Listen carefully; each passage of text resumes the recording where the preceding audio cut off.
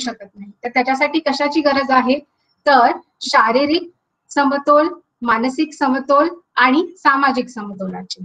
ठीक आहे? तर हे नक्की काय आहे ते आपण जाणून घेऊया. तर सर्वप्रथम जेव्हा आपण म्हणतो की शारीरिक समतोल हे? समजून घेण्यासाठी अगोदर आपल्याला हे कळायला पाहिजे की आपलं शरीर म्हणजे नक्की काय? किंवा शरीर हे कशापासून बनलेलं आहे? तर तुम्हाला जे काही वाटतं तुमचं जे काही उत्तर आहे की शरीर हे कशापासून बनलेलं आहे असं तुम्हाला वाटतं हे थोडक्यात एक दोन तीन वर्ड्समध्ये तुम्ही चॅटबॉक्समध्ये तुमची उत्तरं टाईप करा. हे थोडंसं इंटरॅक्टिव्ह सेशन झालं तर मला जास्त आवडेल.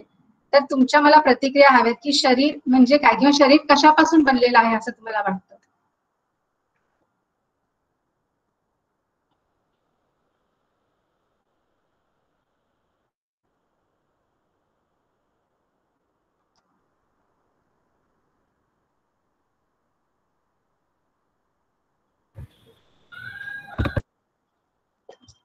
आपली उत्तरं चॅटबॉक्समध्ये टाईप करा.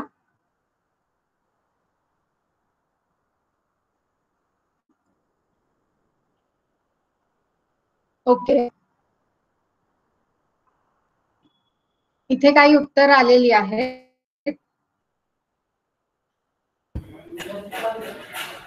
त्यानुसार शरीर ज्यांना उत्तर द्यायची असेल तर हे जे सगळं आहे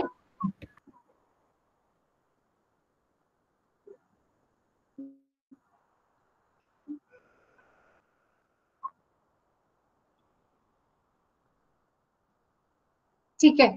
तर चॅटबॉक्समध्ये जी काही उत्तरं आली त्याच्यावरून असं समजतं की बऱ्याच लोकांना असं वाटतं की शरीर हे जे काय आहे हे अवयवांपासून बनलेलं आहे हे निश्चित आहे. ह्याच्यामध्ये काही चुकीचं नाही किंवा काहींचं मत आहे की सेल्सपासून बनलेलं आहे.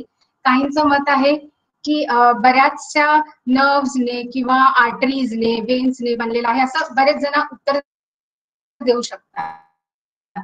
पण ही झाली तुमच्या शरीराची रचना. तुमच्या शरीराच्या रचनेमध्ये या सगळ्या गोष्टी इन्क्लुडेड आहेत.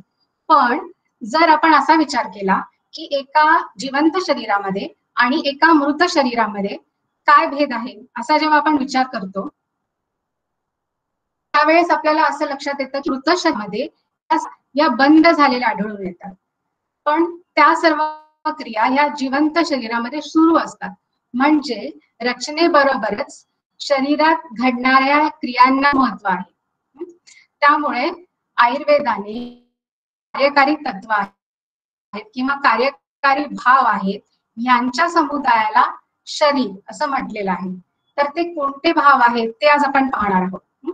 तर आयुर्वेद असं म्हणतं की दोष धातू मल मूलम ही शरीरम किंवा दोष धातू मल यांच्या समुदायाला आपण शरीर म्हणतो. का? कारण हे जे काही दोष धातू मल आहेत हे शरीरातील एनर्जी फोर्सेस आहेत किंवा शरीरातील कार्यकारी तत्व आहेत जे शरीरातील सर्व प्रकारच्या क्रिया सुरळीतपणे शरीरामध्ये सुरू ठेवत असतात. यांच्याबद्दल थोड्याशा विस्ताराने विवरण आपण पाहणार आहोत आज की नक्की हे दोष धातुमल काय आहेत. त्याचबरोबर जेव्हा आपण मानसिक आणि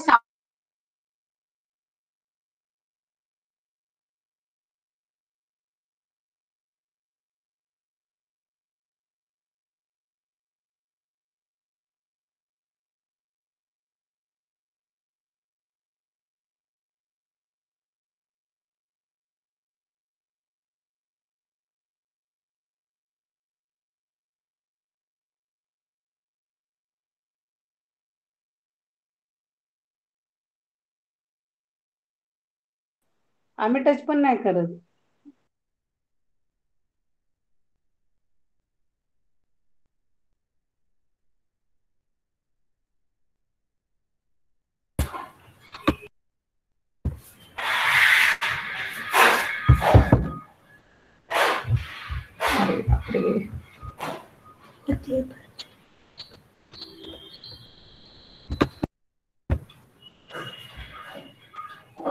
काही टेक्निकल इश्यूमुळे थोडं पुन्हा एकदा त्या जॉईन होतील माधुरी मॅडम आपण पुन्हा एकदा त्यांचं लेक्चर ऐकू शकू. एक दोनच मिनिटात जॉईन होत आहे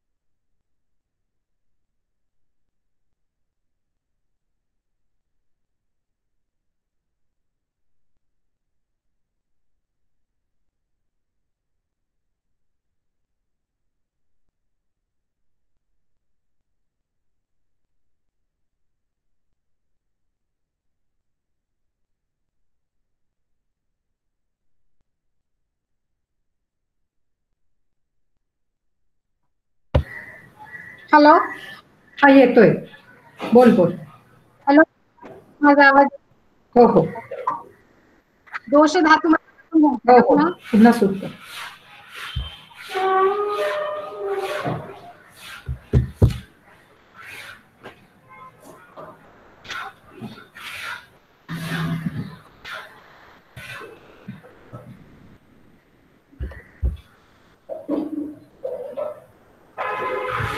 ठीक आहे. तर मध्येच नेटवर्क प्रॉब्लेममुळे मला थोडासा प्रॉब्लेम झाला इथे. ठीक आहे. तर पुढचं आपण बघूया की आरोग्याची परिभाषा जी आपण मागच्या वेळेला पाहिली होती त्याचाच आपण थोडं विस्तार इथे पाहणार आहोत आता. तर शारीरिक समतोल मानसिक समतोल आणि सामाजिक समतोल काय आहे हे मी एक्सप्लेन करत होते. तर शारीरिक समतोल ही बघत असताना आपण पाहिलं की शरीर म्हणजे केवळ त्याची रचना असं आपण नाही म्हणू शकत. तर शरीरातील क्रिया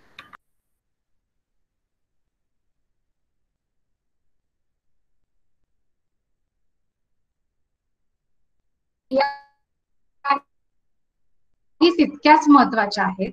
आणि त्याच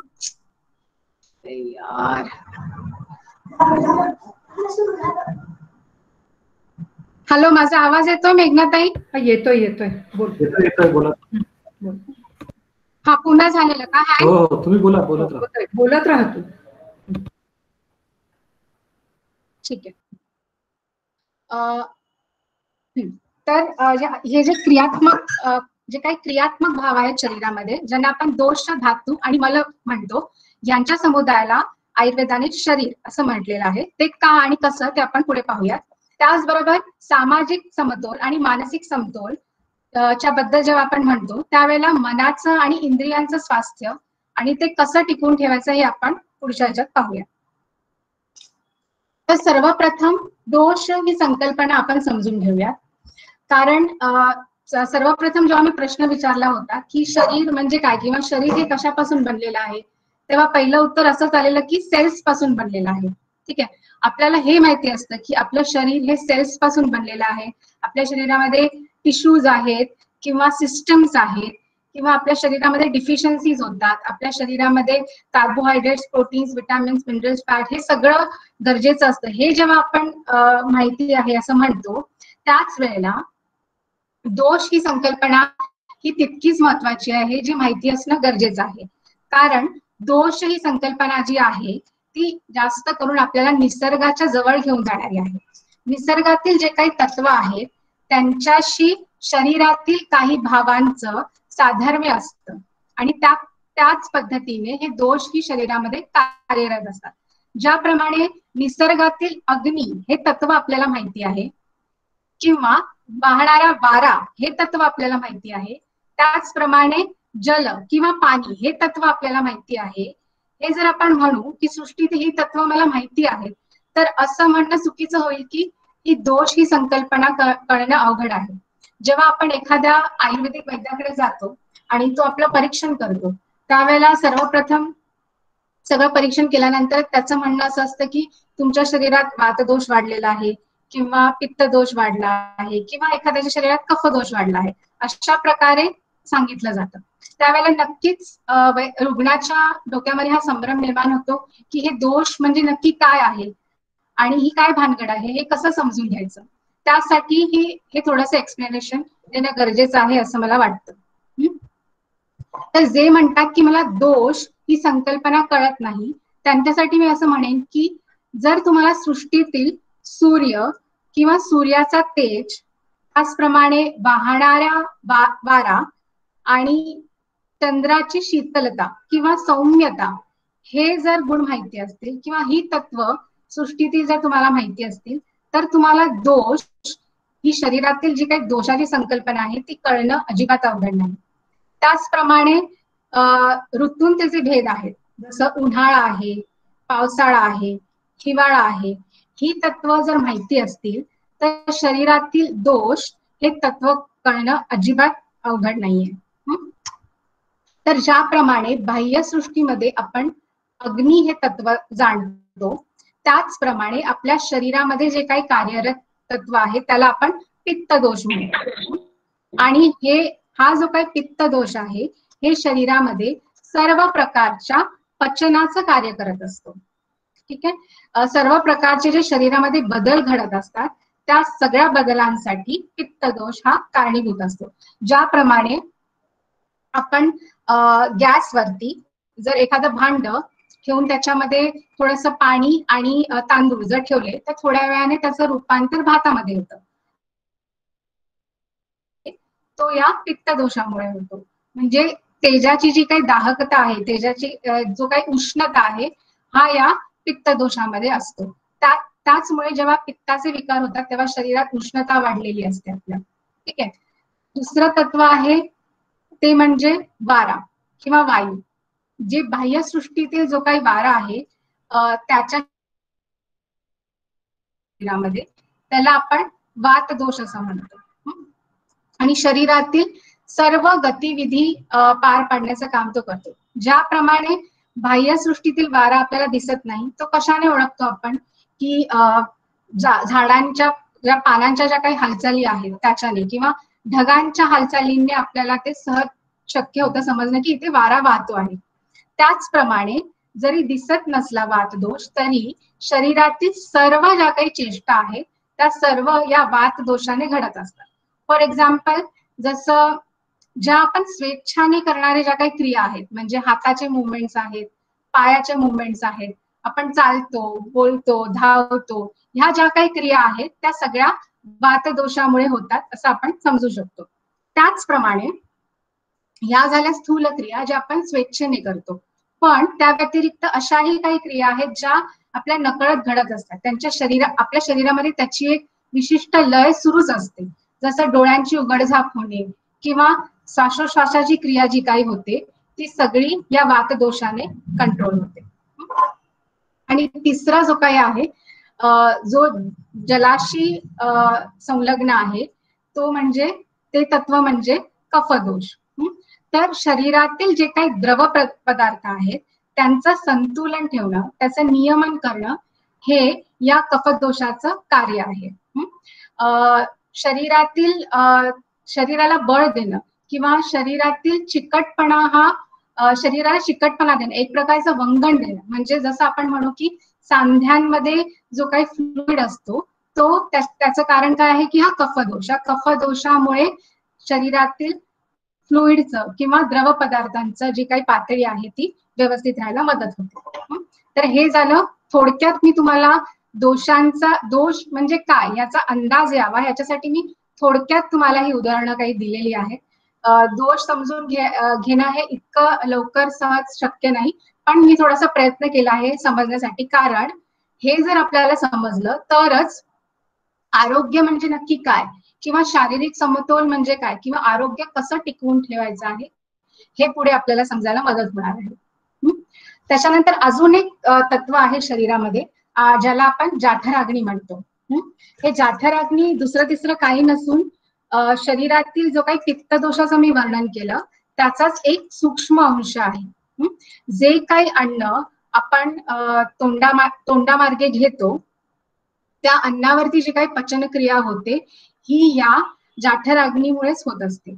या जाठराग्नीचं बळ जर व्यवस्थित असेल बळ व्यवस्थित असणं म्हणजे याचं समतोल शरीरामध्ये व्यवस्थित असणं याचं स्वास्थ्य व्यवस्थित असणं. हे जर व्यवस्थित असेल तर जे काही अन्न आपण ग्रहण करतो त्याचं व्यवस्थितरित्या सार आणि किट्ट भागामध्ये विभाजन होतं. आणि जो काही सार भाग आहे तो शरीरामध्ये व्यवस्थित शोषला जातो. ठीक आहे. त्यामुळे ह्या अग्नीचं बल व्यवस्थित असणं खूप महत्वाचं आहे. बऱ्याच वेळेला असा विचार केला जातो की वजन वाढत नाही आहे. त्यामुळे असं बघितलं जातं की ओके ह्याला शरीरामध्ये एखादी डिफिशियन्सी आहे. ती डिफिशियन्सी भरून काढली की लगेच याचं वजन वाढेल. पण बऱ्याच वेळेला तसं होत नाही. कारण तुमच्या शरीरामध्ये ती जी काही गोष्ट आहे ती ऍब्झॉर्बच होत नाहीये आणि हे जे काही फंक्शन आहे हे केव्हा कार्यरत होईल?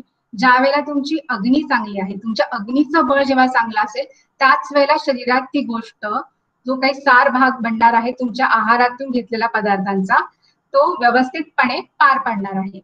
तर ह्या पद्धतीने अशा केसेसमध्ये जेव्हा आपण अग्नीला ठीक करतो किंवा अग्नीची पचनाची क्षमता जेव्हा आपण वाढवतो त्यावेळेला त्या ज्या गोष्टींचा क्षय झालेला आहे त्या गोष्टी व्यवस्थित शरीरामध्ये तुमच्या आहारातून एब्झॉर्ब केल्या जातात आणि मग ते संपूर्ण पोषण सगळ्या अवयवांपर्यंत पोहोचलं जातं. जसं मी मगाशी म्हणाले की आता आपण पाहतोय शारीरिक समतोल म्हणजे नक्की काय? तर शारीरिक समतोल म्हणजे दोषांचं दोषांचं साम्य किंवा दोषांची समतोल अवस्था. ह्या दोषांची शरीरामध्ये एक विशिष्ट रेशो असतो. ठीक आहे. तो रेशिओ जर बिघडला तर त्याने तुमचं शारीरिक समतोल बिघडायला लागतं हळूहळू. फॉर एक्झाम्पल जर माझ्या शरीरामध्ये वात पित्त कफ ह्यांचा ratio one is to two is to three असा आहे. जन्मापासूनच हा रेशिओ माझ्या शरीरामध्ये आहे. परंतु जर काही कारणाने काही आहारातील बदलाने विहारातील बदलाने जर तो ratio one is to two is to four असा झाला म्हणजे कफ जो काय आहे हा थोडासा प्रमाणाने वाढलेला आहे. आणि अशा अवस्थेमध्ये शारीरिक समतोल बिघडलेला आहे असं आपण म्हणू शकतो. तर अशाच पद्धतीने जर तो कमीही झाला तरी पण दोषांचं समतोल बिघडलेला आहे किंवा शारीरिक समतोल बिघडण्याची शक्यता आहे असं आपण म्हणू शकतो. ह्याच पद्धतीने अग्नी ह्या तत्वाने पचन झाल्यानंतर जे काही शरीरामध्ये रक्ताचं संवहन सुरू असतं त्या रक्ताच्या संवहनामध्ये आयुर्वेदानुसार सप्त धातू मानले आहेत. त्यांचं संवहन पूर्ण शरीरभर होत असतं. ते कोणते? तर रस रक्त मांस मेद अस्थि मज्जा आणि शुक्र. हे सात धातू आहेत. यांचं पोषण तुमच्या आहारातील पदार्थांनी सतत सतत होत असतं. आणि ही जी संवहनाची क्रिया आहे ही पूर्ण वेळ होत असते शरीरामध्ये. तर हे दोष हे धातू आणि अग्नी यांचं समतोल. त्याचसोबत मलांचं समतोल म्हणजे मलांचाही मल जे काही शौचा वाटे बाहेर पडणारे मल आहेत मुद्रा वाटे बाहेर पडणारे मल आहेत त्यांचंही एक शरीरात रेशो फिक्स्ड असतो. आणि तो जर मेंटेन राहिला तर शरीराचा समतोल बिघडत नाही. पण तो जर कमी जास्त झाला तरीही शरीराचा समतोल हळूहळू बिघडू लागतं. तर जे आपण पहिला मुद्दा पाहिला होता आरोग्याच्या व्याख्येमध्ये की शारीरिक समतोल त्यामधला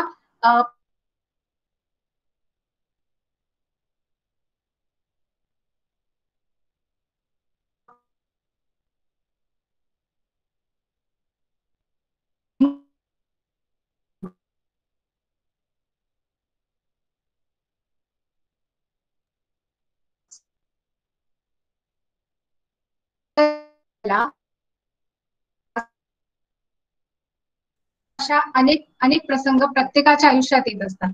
त्यावेळेला त्याचे पडसाद त्यांच्या शरीरावरती जरी उमटत नसतील तरी त्यांच्या मनावरती त्यांचे त्याचे पडसाद उमटत असतात. बाहेरून जरी तो माणूस शरीराने स्वस्थ दिसत असला तरी मनामध्ये त्याच्या विविध ताणतणाव असल्यामुळे विविध प्रकारचे विचार विविध प्रकारचे चिंता ही सतत सतत एखाद्या गोष्टीचं भय हे सतत सतत सुरू असतं. त्या विशिष्ट कंडिशन मधून जर तो व्यवस्थितरित्या सुरळीतपणे जर बाहेर पडू शकत असेल तर त्याचं मानसिक बळ हे उत्तम आहे असं आपण म्हणू शकतो. पण जर तसं तो करणं तसं त्याला करणं शक्य होत नसेल तर त्याचं मानसिक स्वास्थ्य हळूहळू बिघडू लागलेलं आहे हे आपण समजू शकतो. अशा वेळेला कशाची गरज असते? कुणीतरी आपल्याला येऊन धीर देण्याची गरज असते. कुणीतरी आपल्याला आपलं सांत्वन करण्याची गरज असते की हे जे काय आहे हा जो ही जी काही वेळ आहे ती निघून जाईल. आणि त्याच्यासाठी कशाची गरज असते? की जे काही आपल्या मनामध्ये जे काही विचार आहे ते समोरच्याशी शेअर करणं. ते आपल्या जवळच्या लोकांशी आपल्या मित्र परिवाराशी आपल्या जवळच्या लोकांशी शेअर करणं महत्वाचं असतं. आणि त्याला आपण सोशल वेलबिंग किंवा सामाजिक स्वास्थ्य असं म्हणतो. सामाजिक स्वास्थ्य हे दुसरं तिसरं काय नसून समाजामध्ये वावरत असताना पॉझिटिव्ह रिलेशनशिप्स बनवण्याची जी काही आपली क्षमता असते त्याला सामाजिक स्वास्थ्य असं म्हणू शकतो आपण. आणि ते कशावरती अवलंबून आहे? तर ते तुमच्या मानसिक स्वास्थ्यावरतीच अवलंबून आहे. अधिकाधिक रिलेशनशिप्स पॉझिटिव्ह रिलेशनशिप्स आपण केव्हा बनवू शकतो? की ज्या वेळेला समोरच्या बद्दल आपल्या मनामध्ये नेगेटिव्ह फिलिंग्स कोणत्याही प्रकारचे नाही आहेत. की त्याच्याबद्दल द्वेष आहे किंवा त्याच्याबद्दल मात्सर्य आहे अशा पद्धतीचे जेव्हा फिलिंग्स नसतील त्यावेळेलाच आपण एक एकमेकांच्या एकमेकांशी आपुलकीने नवीन नवीन नाते बनवू शकतो. तर अशा पद्धतीने सामाजिक समतोल जेव्हा आपण म्हणतो तेव्हा त्याचा अंतर्भाव कुठे ना कुठे आपल्या मानसिक समतोलाशीच येतो. त्यामुळे जेव्हा आपण आरोग्य म्हणतो तेव्हा हे दोन मुद्दे समोर येतात. शारीरिक समतोल आणि मानसिक समतोल. आणि जो काही सामाजिक समतोल आहे ते पुन्हा तुमच्या मानसिक समतोलावरती अवलंबून आहे. आणि हे सगळं जाणून घेतल्यानंतर आपल्याला जी काही स्वास्थ्याची व्याख्या आहे ती आयुर्वेदामध्ये सांगितलेली आहे ती मी तुमच्यासमोर मांडते. आणि ती ह्याच्यासाठी की ती ती तंतोतंत जागतिक आरोग्य संघटनेने सांगितलेल्या व्याख्याशी किती तंतोतंत जुळणारी आहे. तर आयुर्वेदामध्ये सांगितलेली व्याख्या अशी आहे की समदोषा सम अग्निश्च समधातू मलक्रिया प्रसन्न आत्मेंद्रिय मनाहा स्वस्थ इत्यभिधीयते याचा अर्थ असं की दोषांचं साम्य अग्नीचं साम्य किंवा समतोल धातूंचा समतोल मल म्हणजे या सगळ्या क्रियांचा समतोल आणि त्याचबरोबर मनाचं आणि इंद्रियांचं प्रसन्नत्व या सगळ्यांना स्वास्थ्य असं म्हटलं आहे म्हणजे पुन्हा इथे शारीरिक आणि मानसिक समतोलाची व्याख्या इथे केलेली आहे. आणि म्हणूनच मागच्या वेळी मेघनाताईंनीही सांगितलं की आयुर्वेदाचं प्रयोजन काय आहे? की जो स्वस्थ व्यक्ती आहे किंवा जो ऑलरेडी आरोग्यमयी आहे त्याचं स्वास्थ्याचं रक्षण करणं. त्याचं स्वास्थ्य टिकवून ठेवणं हा आयुर्वेदातील प्रयोजनाचा मुख्य मुद्दा आहे. आणि त्याच्यानंतर विचार केला गेला आहे विकार प्रशमनाचा. कारण आपल्याला विकार नाही याचा अर्थ असं नाही की आपण हातावर हात धरून बसायला पाहिजे. आता मला काहीच होणार नाही मला विकार नाही तर मला काहीच होणार नाही असं आपण जेव्हा विचार करतो तेव्हा ते अत्यंत चुकीचं आहे. तुमचं स्वास्थ्य टिकवून राहणं याच्यासाठी तुम्ही नक्कीच काहीतरी ऍक्टिव्हली करणं खूप गरजेचं आहे.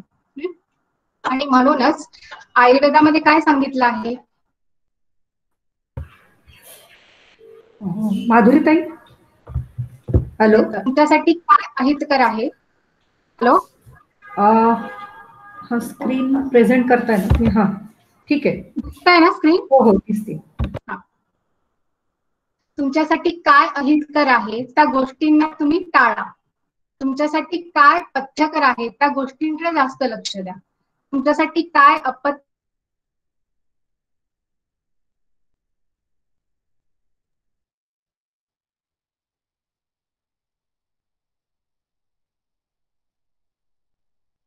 कर आहे त्या गोष्टींना अवॉइड काही आपल्याला विचार करायचे नाही की आपण एखाद्या पार्टीमध्ये जातो चायनीज खातो वडापाव खातो असं जे काही जंक फूड आपण खातो त्यावेळेला आपण जिभेचे चोचले पुरवत असतो आणि त्यावेळेला त्यावेळेला आपल्याला सुख प्राप्ती होते.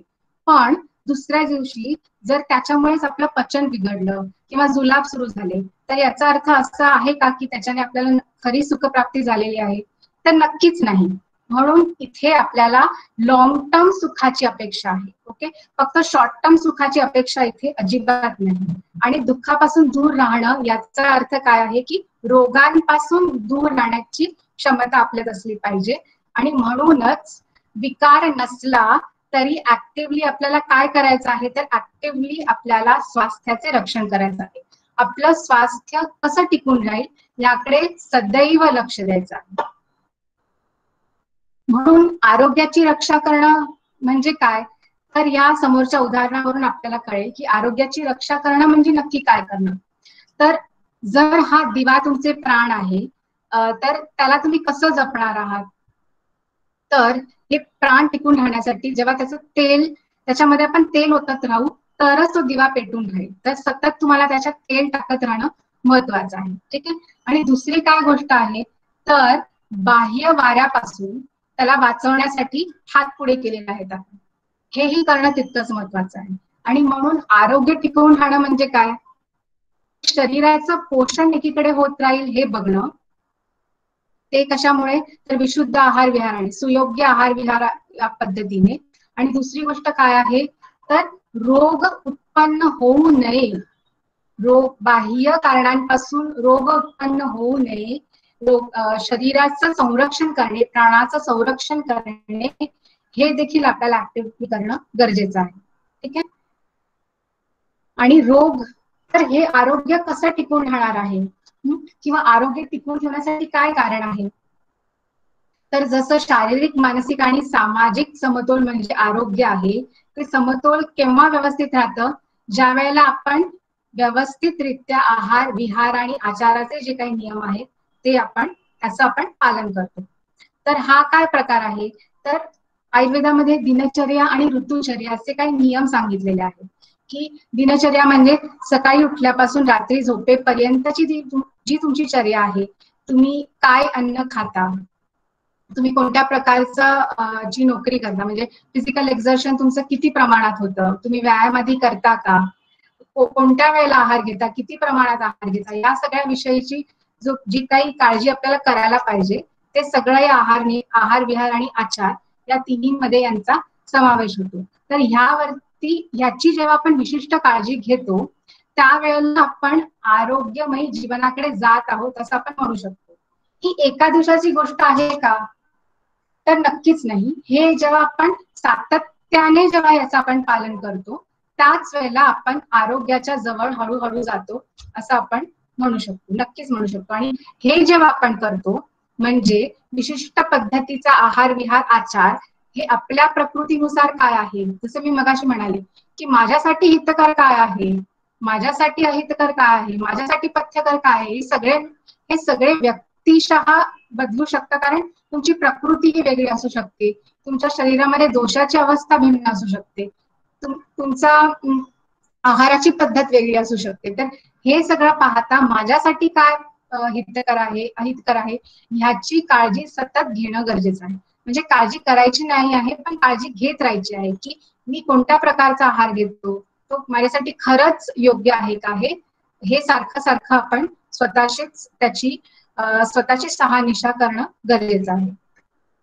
हे सगळं झाल्यानंतर आपल्याला असा प्रश्न पडू शकतो की आपण नक्की ह्या दोन्ही पैकी कोणत्या अवस्थेमध्ये आहोत? म्हणजे आपण रोग किंवा रोगी या अवस्थेमध्ये आहोत किंवा आरोग्यमयी या अवस्थेमध्ये आहोत? तुमचं जे काही उत्तर असेल या दोघांपैकी ते तुम्ही चॅटबॉक्समध्ये टाईप करा.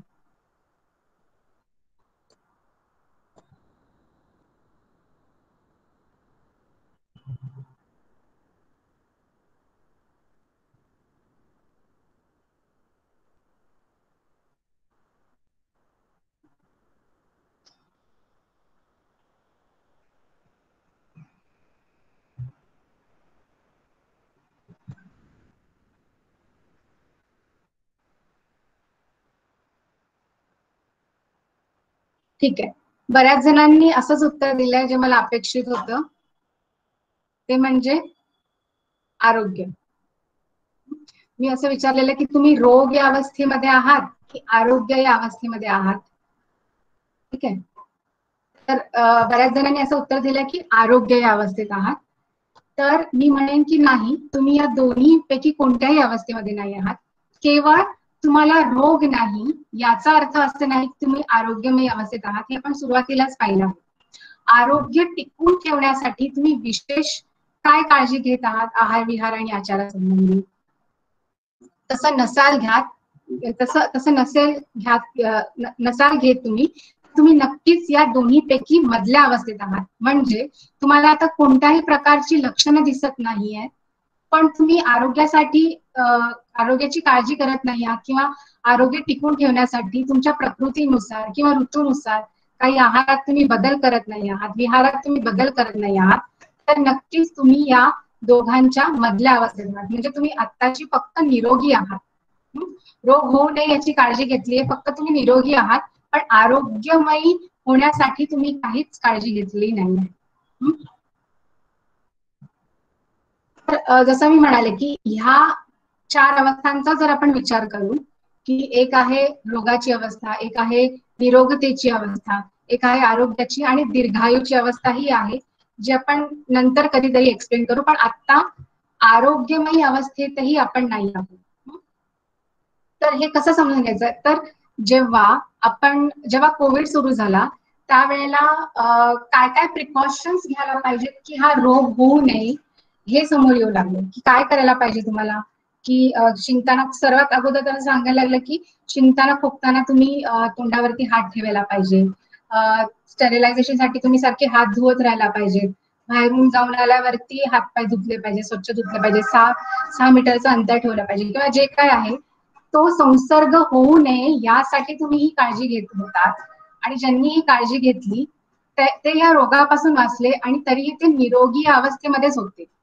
पण त्यांचं आरोग्य टिकवून राहण्यासाठी अशी काही विशेष काळजी आपण घेत होतो का? तर नक्कीच नाही.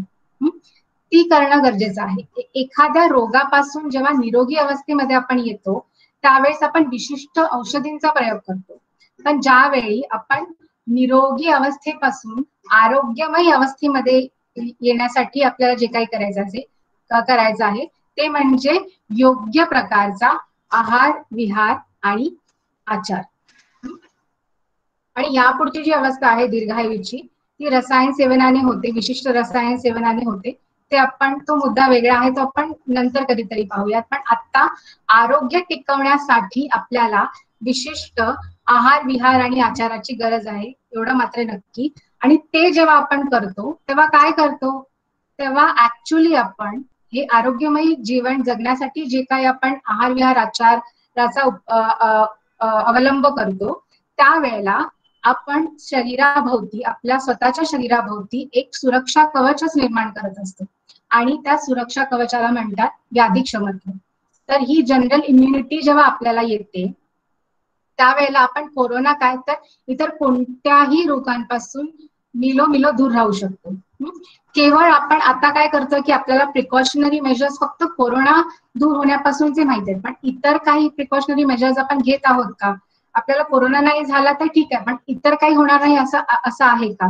तर त्याच्यासाठी आपण काही विशेष काळजी घेत आहोत का? तर नाही किंवा आरोग्य टिकवण्यासाठी आपण विशेष काही आहार विहार घेत आहोत का? तर नाही. संदर्भात आपण माहिती घेणार आहोत. तर आरोग्य प्राप्ती करायची असेल तर त्याच्यासाठी जबाबदार कोण आहे? तर लगेच आपण म्हणू की वैद्य आहे. तर हे चुकीचं नाही आहे. नक्कीच वैद्य तुम्हाला सल्ला देणार आहे की तुमच्या प्रकृतीनुसार तुमचा काय आहार असला पाहिजे काय विहार असला पाहिजे तुम्ही कोणत्या प्रकारचा आचार वर्तविला पाहिजे हे सगळं काही वैद्य सांगणार आहे. पण नुसता वैद्य आणि वैद्यच याच्यासाठी जबाबदार आहे असा नाही. तर कुठेतरी ही जबाबदारी तुमचीही आहे. जसं मी मगाशी म्हणाले की मला रोग नाही याचा अर्थ मला काही करायचीच गरज नाही आणि मी आरामात राहू शकतो काहीही खाऊ शकतो. काहीही करू शकतो असं अजिबात नाही. तर त्याची जबाबदारी ही तुम्ही स्वतःही घेतली पाहिजे. तुम्ही स्वतः तुमच्या शरीरातील होणाऱ्या वेदना संवेदनांवरती लक्ष दिलं पाहिजे लक्ष केंद्रित केलं पाहिजे. तुमच्या शरीरातील होणाऱ्या बदलांकडे तुम्ही जास्तीत जास्त लक्ष दिलं पाहिजे. आणि तुमच्या सहाय्याला औषध आणि परिचारक हे असतातच जेव्हा गरज लागेल तेव्हा. आणि म्हणून आरोग्य प्राप्तीसाठी किंवा एखाद्या चिकित्सेसाठी आयुर्वेदामध्ये ह्या चारही गोष्टींची आवश्यकता आहे असे सांगितलेलं आहे. केवळ वैद्यावरती अवलंबून राहणं चालणार नाही. वैद्य त्यातील मुख्य घटक आहे नक्कीच. कारण तो सगळा ऍडवाइस तुम्हाला करणार आहे. पण जोपर्यंत तुम्ही त्या गोष्टींचं पालन करत नाही आहे तोपर्यंत जोपर्यंत तुम्ही मना मनावर त्या गोष्टी घेत नाही आहात तोपर्यंत तुम्ही आरोग्य प्राप्तीकडे वाटचाल करत आहात असं आपण म्हणू शकणार नाही. आणि म्हणूनच प्रत्येक व्यक्तीमध्ये कोणते गुण असले पाहिजेत आरोग्य टिकवण्यासाठी? किंवा एक रुग्णाची काय जबाबदारी आहे? तर सर्वप्रथम जर तुम्ही हे चित्र पाहिलं तर त्याच्यामध्ये एक रुग्ण आहे की ज्याला असं विचारलं गेलं की ज्याला पोटचं पोट दुखतंय म्हणून आलेलं आहे. आणि त्याला जर आपण विचारलं की कधीपासून दुखतंय? तर तो म्हणेल साधारण एक आठवड्याभरापासून दहा दिवसापासून दुखतंय. तर ह्या आठवड्याभरात ह्या पंधरा दिवसात किंवा या मागील एक महिन्यामध्ये काय आहारामध्ये बदल झाला किंवा काही नवीन वेगळं खाण्यात आलं का? तर तो आठवण्याचा प्रयत्न करतो. कारण त्याला माहितीच नाही की त्याने या या काळामध्ये काय आहारामध्ये बदल केला किंवा नवीन काही विशिष्ट आहार पद्धती त्याने सुरू केली. ह्या त्यालाच त्याचं स्मरण नाही तर स्मरण किंवा स्मृती असणे माहिती असणे की आपण काय खातो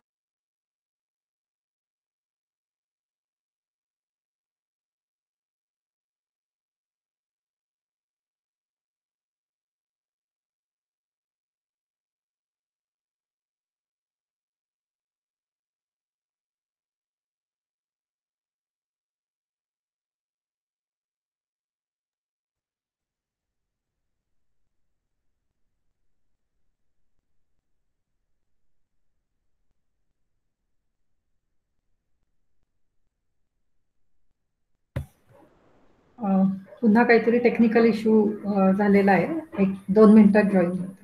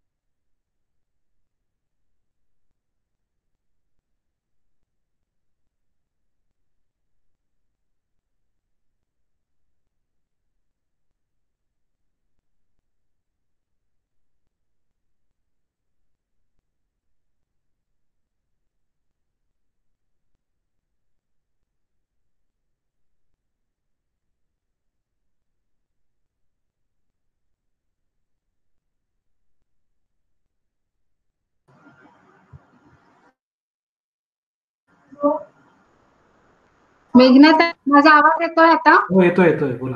हो.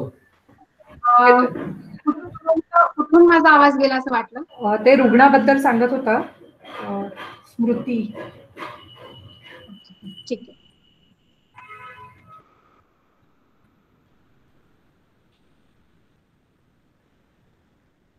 माझी स्क्रीन दिसतीये ना?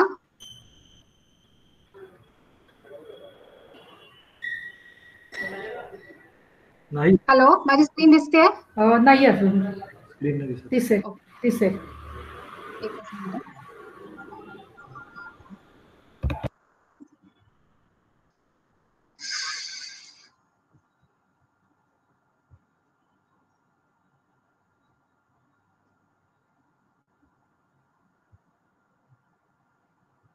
आता दिसते हो हो हो.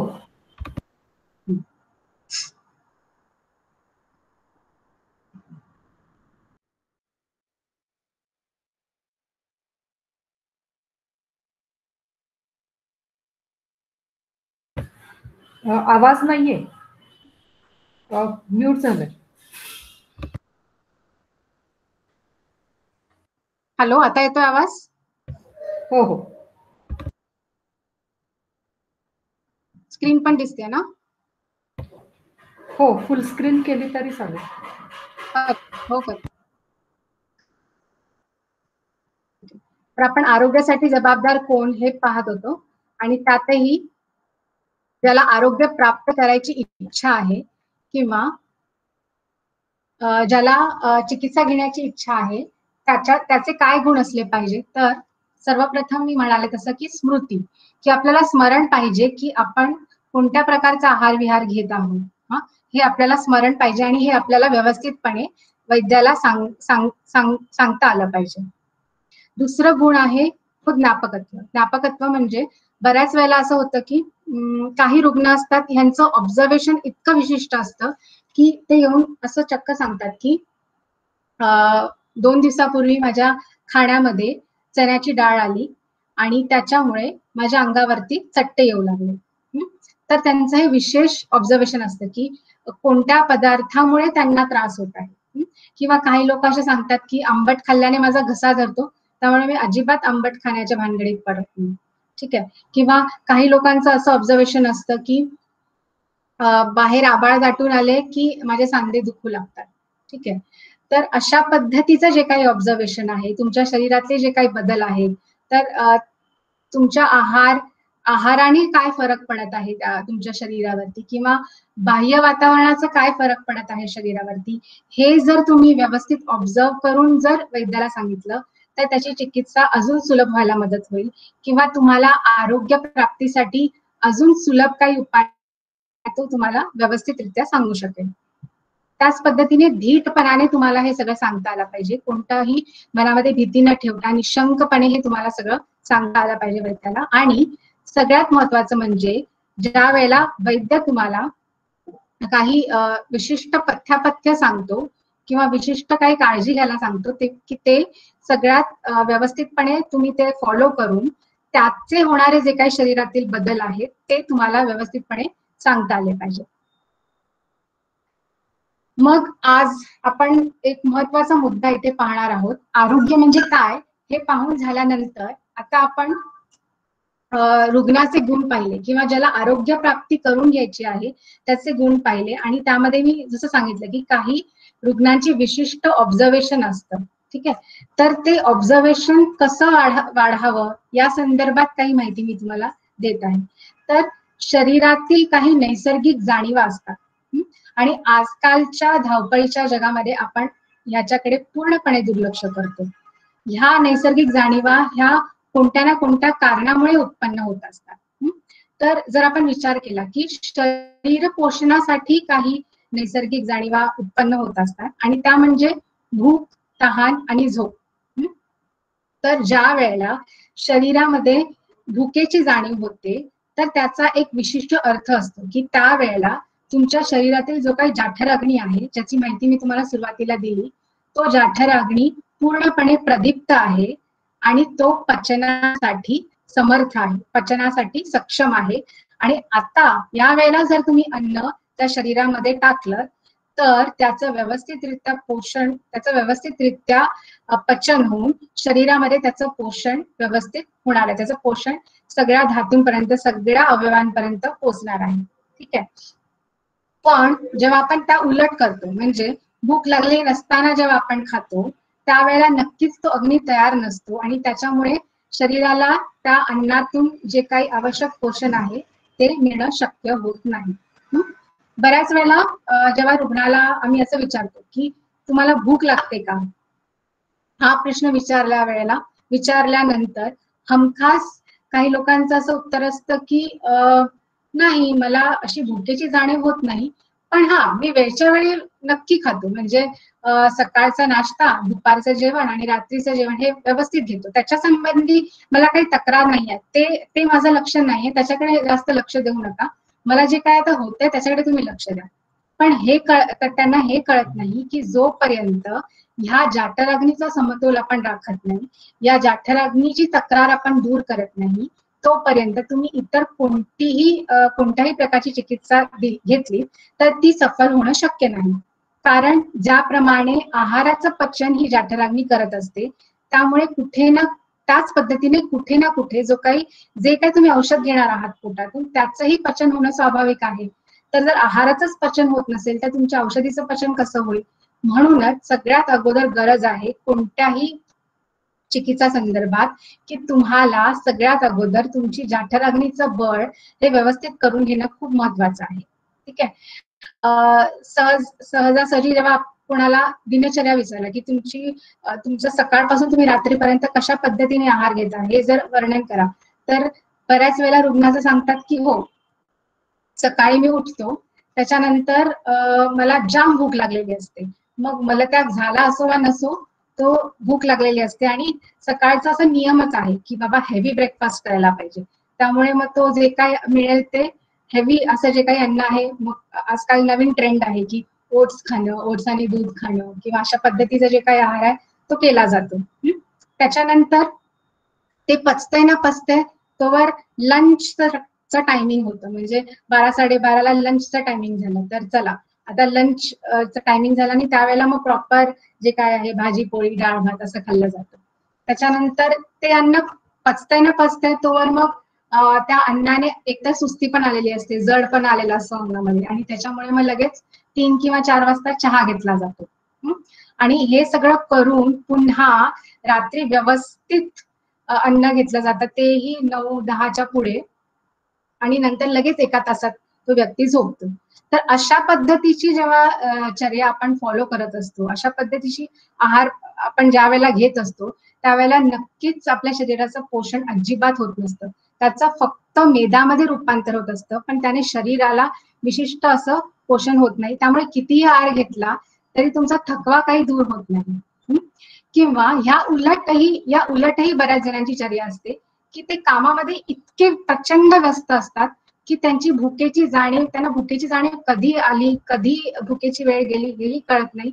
आणि सकाळी त्यांनी थोडा जो काही ब्रेकफास्ट केला असेल त्याच्यानंतर मग दुपारची वेळ पण टळून गेलेली असते. आणि एकदम पाच सहा नंतर भुकेची भूक म्हणजे त्यांना जेव्हा वेळ मिळतो तेव्हा ते लोक जेवण करतात. तोपर्यंत त्यांची स्वतःची भुकेची जाणीव ही निघून गेलेली असते. आणि मग त्याच्यानंतर पित्ताचा त्रास होऊ लागतो किंवा डोकं दुखू लागतं. हे सहज असं पाहायला मिळतं जरी तर जेव्हा आपण असं विचार करतो की भुकेची वेळ कोणती किंवा भुकेचा काळ कोणता तर हा तुमचा ब्रेकफास्ट लंच डिनरचा काळ नाही आहे. तुमच्या शरीरानुसार तुमचा भुकेचा काळ हा भिन्न भिन्न असू शकतो. सकाळी उठल्यानंतर मलत्याग झाल्यानंतर जी काही तुम्हाला पहिली भुकेची जाणीव होते त्यावेळेला तुम्हाला खरी भूक लागलेली आहे असं तुम्हाला वाटत असेल तर त्यावेळेला अन्न खाणं योग्य आहे. आणि ते जेव्हा अन्न पचतं म्हणजे साधारण ते अन्न पचायला साधारण आपण असं पकडू की सहा तास लागत असतील किंवा कोणाला ते अन्न लवकरही पचू शकतं. कोणाला चार तासामध्ये ते अन्न पचू शकतं. पण ते अन्न पचल्यानंतर पुन्हा जेव्हा भुकेची जाणीव होते त्यावेळेला तुमचा द्वितीय अन्नाचा काळ सुरू होतो असं आपण म्हणू शकतो. आणि ते अन्न पचल्यानंतर ते ती अन्न काळ आहे असं आपण म्हणू शकतो. तर अशा पद्धतीने जेव्हा आपण विचार करू की मला भूक लागली आहे की नाही याची शहानिशा करून जेव्हा आपण आहार घेतो त्याच वेळेला त्या आहाराचं जे काही योग्य पोषण आहे ते माझ्या शरीराला मिळत असतं.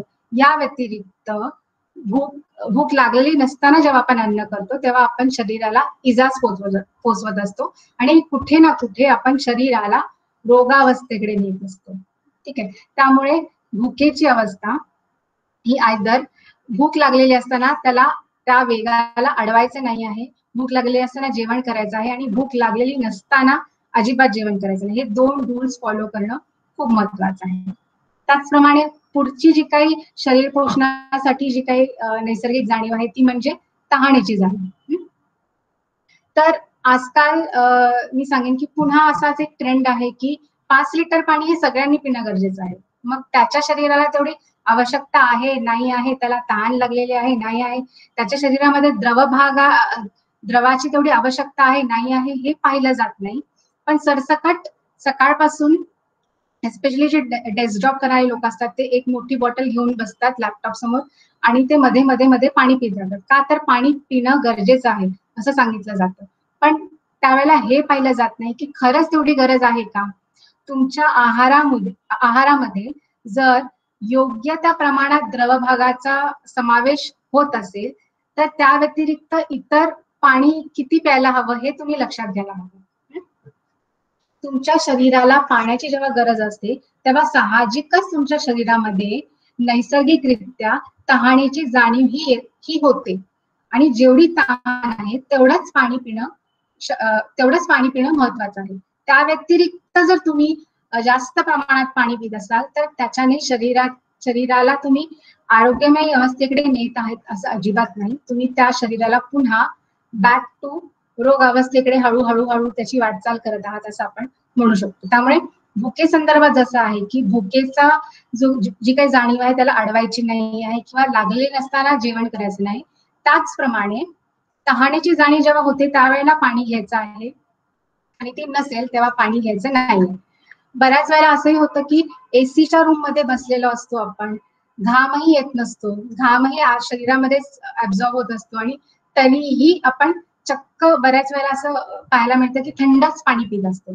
असं करून आपण शरीराला इजाज करत आहोत. त्यामुळे हे गरजेचं आहे हे फॉलो करणं हे स्वतःकडे लक्ष देणं स्वतःच्या शरीरामध्ये तहानीची जाणीव केव्हा उत्पन्न होते ही लक्ष देणं महत्वाचं आहे. त्याच्यानंतर तिसरी जाणीव आहे ती म्हणजे झोपेची. तर दिवसभराचं जे काही आपलं कार्य आहे जे काही आपण रेग्युलर जी काही आपली जीवनशैली आहे ही फॉलो केल्यानंतर दिवसभराचा जो काही थकवा आहे तो भरून निघण्यासाठी आपल्याला नैसर्गिकरित्या रात्रीची झोप आवश्यक आहे. तर झोपेचे जे विविध प्रकार सांगितले आहेत त्यापैकी जी रात्रीची झोप आहे ही शरीराची जी काही झीज आहे दिवसभराची ती भरून काढण्यासाठी आवश्यक आहे. त्या व्यतिरिक्त घेतली गेलेली झोप ही शरीरासाठी अजिबात आवश्यकतेची नसते.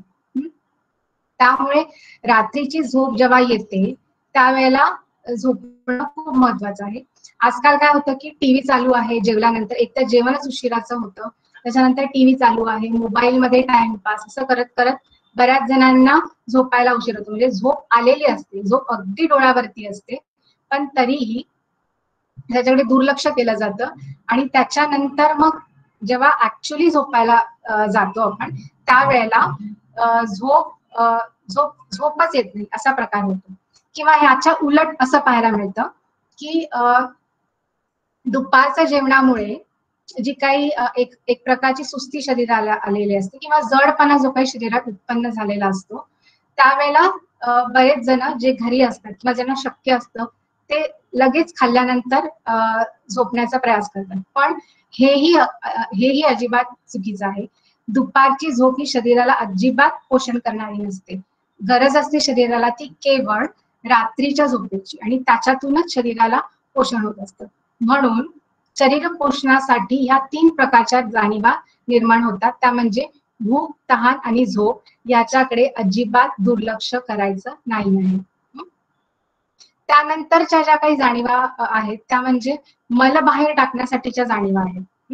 म्हणजे शौचा शौचावाटे बाहेर पडणारा मल आहे किंवा मूत्रावाटे बाहेर पडणारा जो काही मल आहे किंवा अधोवायू जो काय आहे याचा याची देखील जेव्हा जाणीव होते ती त्या त्या वेळेला शरीरात शरीरातील जे काही मल असतात हे जे काही साठून राहिलेले असतात ते बाहेर पडण्यासाठी शरीराची प्रवृत्ती असते. त्या प्रवृत्तीला अडवणं हे अत्यंत चुकीचं आहे अत्यंत घातक आहे. पुढे जाऊन ते अं, विविध आजारांना उत्पन्न करू शकतं. त्यामुळे बऱ्याच वेळेला असं होतं की आपण एखाद्या मीटिंगमध्ये आहोत किंवा एखाद्या कार्यक्रमामध्ये आहोत तेव्हा बऱ्याच वेळेला मलमूत्र आणि वाता वातवेगाचं धारण करणं किंवा त्याला अडवून ठेवणं हे हे सहज होऊन जातं आपल्याकडून. पण ह्याचं ह्याचं पूर्णपणे ह्याच्याकडे लक्ष दिलं पाहिजे की ह्या वेगांचं धारण होत नाहीये. किंवा एक हॅबिट बनवली पाहिजे किंवा एक सवय बनवली पाहिजे की सकाळचं जे काही मलप्रवर्तन आहे ते जर व्यवस्थितपणे होत असेल तर पुन्हा दिवसभरामध्ये तुम्हाला याची अडचण येऊ नये. किंवा तुमच्या शरीरामध्ये जेव्हा जेव्हा मलप्रवृत्ती होण्याची शक्यता आहे त्यावेळेला तुम्ही नक्कीच त्या मलाचं प्रवर्तन शरीराबाहेर केलं पाहिजे. त्याच्यानंतरची जी हा ह्यामध्ये मला उदाहरण द्यायला असं आवडेल की लहान मुलांमध्ये विशेषतः असं अशी एक लक्षणं घेऊन येतात आई वडील की ह्याचं वजन अजिबात वाढत नाही आहे. की ह्या खातो हा सगळं व्यवस्थित पण ह्याचं ह्याच्या शरीरावरती त्याचा काहीच त्याचा फरक दिसून येत नाही आहे. तर काय असेल? जेव्हा लक्ष दिलं जातं की का का असं होतंय? विशेषतः लहान मुलांमध्ये असं बघितलं जातं की त्यांची दिनचर्या ही चुकीची असते. सकाळी लवकरची स्कूल असल्यामुळे त्यांना लवकर उठावं लागतं. आणि लवकर उठून म्हणजे आता सपोज साडेसातला व्हॅन येणार असेल तर सात वाजता सव्वा सात वाजता उठवलं जातं. आणि त्यावेळेला फक्त अंघोळ करून लगेच कपडे घालून दूध पाजून पाठवलं जातं. पण ह्याकडे अजिबात लक्ष दिलं जात नाही की त्याचा मलत्याग झाला आहे की नाही. ही जी सगळ्यात अत्यंत महत्वाची गोष्ट आहे की रात्रीचं जे काही अन्न आपण खाल्लेलं असेल त्याचं पचन होऊन त्यातून जो काही मलभाग तयार होणार आहे तो मलभाग सकाळच्या वेळेला त्याचं निस्सरण होणं हे खूप महत्वाचं आहे. ते जर व्यवस्थित होत नसेल ते जर वेळच्या वेळी झालं नसेल तर शरीराचं पोषण होणार नाही. वर त्याच्यावरती जे काही डबे दिलेले असतात ते स्कूलमध्ये जाऊन खाल्ले जातात. तिथेही स्कूलमध्ये जाऊनही तो टीचरला सांगत नाही की मला जायचं आहे किंवा काही. असं जर त्याने अडवून ठेवलं त्यावेळेला आणि त्याच्यावर जर त्याने अन्नाचं सेवन केलं तर याच्यातून शरीराचं पोषण होणं अजिबातच शक्य नाही. आणि मग जेव्हा विचारलं जातं की मग केव्हा होते? मग मलाचा वेग केव्हा येतो? मग तेव्हा त्याच्या तेव्हा असं सांगितलं जातं की दुपारी आल्यानंतर मग तो जे काय आहे मला मला वेगाचं प्रवर्तन करतो. म्हणजे दिवसभर जर त्याला मला मला वेगाची इच्छा झाली असेल तर ती त्याने अडवून ठेवली असेल. आणि हे अत्यंत अत्यंत चुकीचं आहे. ह्याच्याच विरोधी असं पण पाहायला मिळतं की ज्यांना एक कंपल्शन असतं की मला वेग बाहेर काढण्याचा की मला पोट साफ होत नाही आहे म्हणून मी जोर देऊन देऊन देऊन मला काढण्याचा प्रयत्न करतो. असं बरेच रुग्ण सांगतात की मला साफ झाल्याचं फिलिंगच येत नाही. त्याच्यामुळे मी रोज जोर लावतो. पण त्यांना हे लक्षात येत नाही की असं जोर लावून लावून हळूहळू तिकडचा जो काही मांसल भाग आहे तिकडचे जे काही आर्टरीज आहेत त्याच्यावरती ताण येऊन तिथे पुढे पाईल्स किंवा फिशरची शक्यता निर्माण होऊ शकते. तर अशा पद्धतीने मल वेगाला अडवणं किंवा त्याचं उदिरण करणं. उदिरण करणं म्हणजे त्याला प्रवृत्त करणं बाहेर मुद्दामून. जेव्हा येत नसेल त्यावेळेला हे दोन्हीही चुकीचं आहे. अशाच पद्धतीने मूत्रवेगाचंही आहे. मूत्रवेगाचं मी उदाहरण असं देईन की ज्या वेळेला मी हृदयरोगा हृदयरोगी जे काय आहेत अशा रुग्णांमध्ये माझा थिसिस वर्क करत होते तर त्याच्या त्यांच्यामध्ये मी हे लक्षण पाहत होते. की वेग धारणाची काही लक्षणं सापडता आहेत का?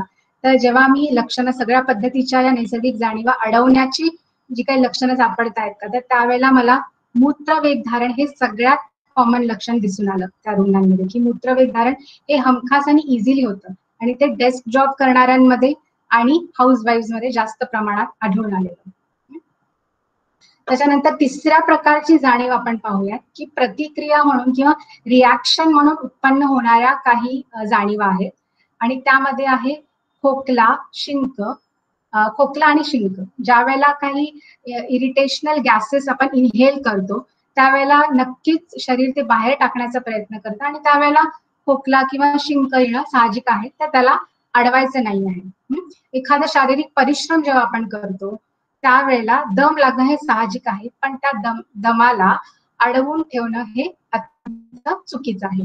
त्याचप्रमाणे उलटी तर उलटीला अडवणं हे आजकाल खूप कॉमन होते कारण आम्लपित्ताचे रुग्ण जेव्हा येतात तेव्हा ते काय सांगतात की मला खूप जुना आम्लपित्ताचा त्रास आहे आणि ह्याच्यासाठी काय करता तुम्ही? तर बऱ्याच वर्षांपासून ते कोणत्या ना कोणत्या प्रकारचं अँटासिड्स घेत असतात.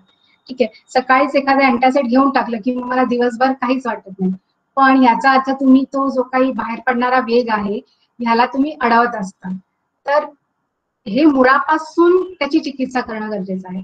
जो पित्तदोष तुमच्या शरीरामध्ये अवाजवी वाढलेला आहे. जसं मी मगाशी म्हणाले की पित्ताचा समतोल तिकडे नष्ट झालेला आहे. पित्त हे शरीरामध्ये जास्त बनत आहे त्याला कंट्रोल करणं गरजेचं आहे.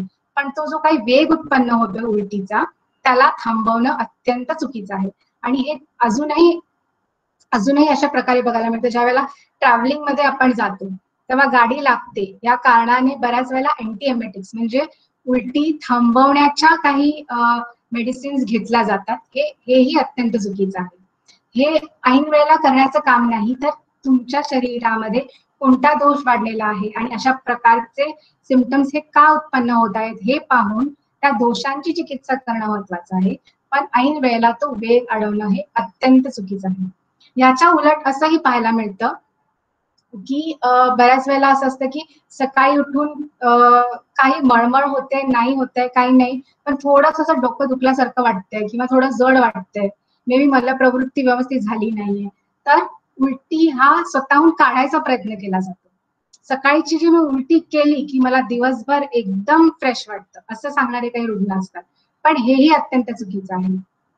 हे काही विशिष्ट काळामध्ये केला जाणारा हा उपक्रम असू शकतो की कधीतरी तुम्हाला पित्त तुमच्या शरीरामध्ये खूप साठलेलं आहे आणि ते बाहेर पडण्यासाठी प्रवृत्त होत आहे. त्यावेळेला तुम्हाला मळमळ सारखी सिमटम्स ध्यानात येतात आणि त्यावेळेला ते बाहेर काढलं तर ठीक आहे. पण असं काही नसताना केवळ तुम्हाला थोडासा जडपणा वाटत आहे केवळ पोट ठीक साफ झाला नाही की थोडंसं डोकं दुखत आहे तर लगेच उलटी काढणं किंवा बऱ्याच जणांना अशी सवय असते की ते वर्षानुवर्ष या गोष्टी करत असतात. रोज उठून सकाळी उलटी काढणं हा त्यांचा एक उपक्रमच बनलेला असतो. तर हेही अत्यंत चुकीचं आहे. त्याच्यानंतर ढेकर आणि जांभई. तर ढेकर आणि जांभई यांचाही जो काही वेग आहे तो अडवायचं नाही आहे. याची अडवणूक करणं अत्यंत चुकीचं आहे. ढेकर येत आहे तर तो मोकळेपणाने येऊ द्यावा. जांभई येत आहे तर ती मोकळेपणाने येऊ द्यावी. त्याला अडवू नये त्याच पद्धतीने अश्रू हा एक अत्यंत महत्वाची जी ही काही जाणीव आहे जी शरीराला होत असते. आणि त्याचं पण तुम्हाला धारण करायचं नाही. आहे बऱ्याच वेळेला जॉईंट फॅमिलीमध्ये राहत असताना स्त्रियांमध्ये हे जास्त पाहायला मिळतं की स्वतःचं मत मांडता येत नाही. त्यावेळेला अश्रू वेग धारण केला जातो. किंवा पुरुषांमध्येही पाहायला मिळतो हे. कारण असं सांगितलं जातं की नाही तू रडलास म्हणजे तू दुर्बल आहेस. किंवा हे पुरुषांनी रडू नये असे जे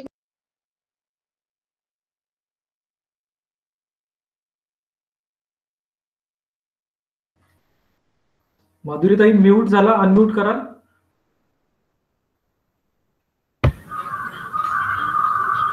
आणि स्क्रीन पण परत प्रेझेंट कर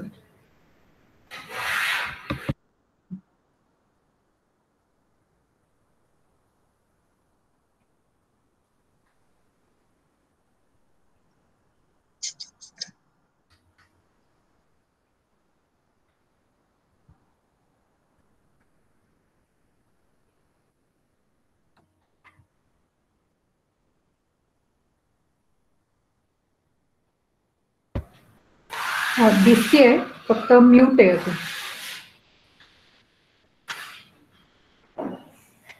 आता? हा, हो.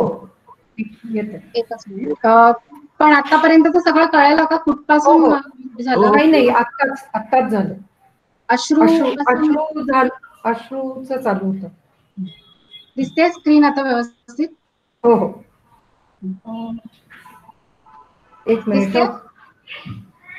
महेंद्र वानखेडे प्लीज तुम्ही स्क्रीन शेअर करू नका.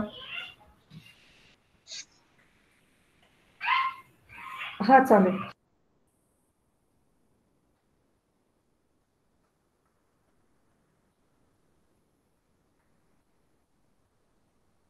पुन्हा तू म्यूट झाली आहेस आणि स्क्रीन पण शेअर करा आहे स्क्रीन शेअर आहे.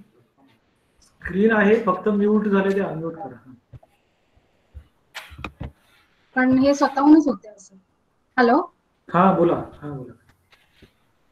येतोय आवाज? बोला हो हो. ठीक आहे.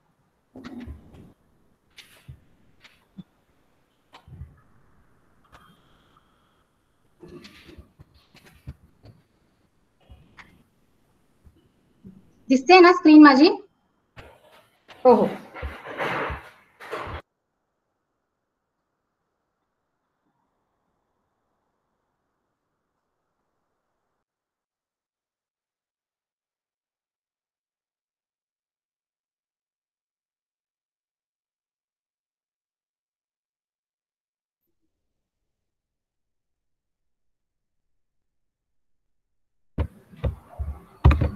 म्यूट म्यूट आहे. ऐकू नाही येते.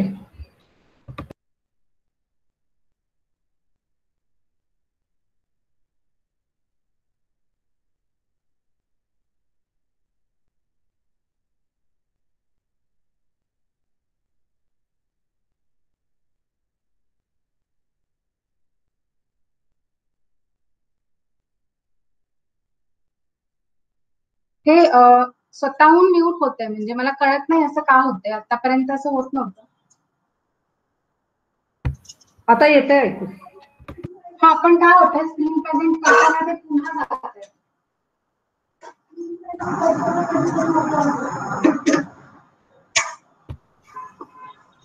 ठीक आहे असंच दाखवलं तरी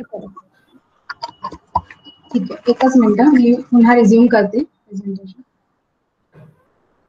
हा दिसते स्क्रीन आणि माझा आवाजही येतोय. हो हो येतोय.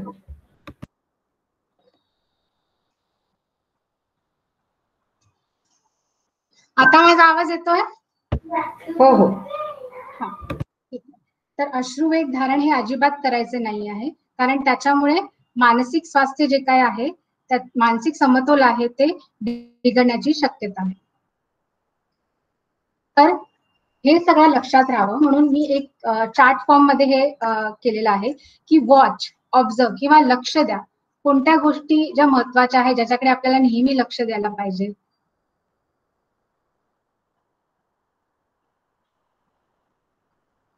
तर वॉच युअर वेस्ट म्हणजे मलमूत्र आणि वात यांचा वेग धारण करू नये हे मी सुरुवातीला सांगितलं. किंवा मुद्दामून त्या वेगाला उत्पन्न करू नये. हे पण मी सांगितलं. त्याचबरोबर तुमचं मलमूत्र हे कशा प्रकारचं आहे जे बाहेर पडत आहे? म्हणजे जे रेग्युलरली तुम्हाला होतं त्या पद्धतीनेच होत आहे की बऱ्याच वेळेला चिकट मलप्रवृत्ती होते किंवा बऱ्याच वेळेला थोडी कडकसर मलप्रवृत्ती होते. तर अशा पद्धतीने काही बदल होत आहेत का? याच्याकडेही लक्ष देणं महत्वाचं आहे.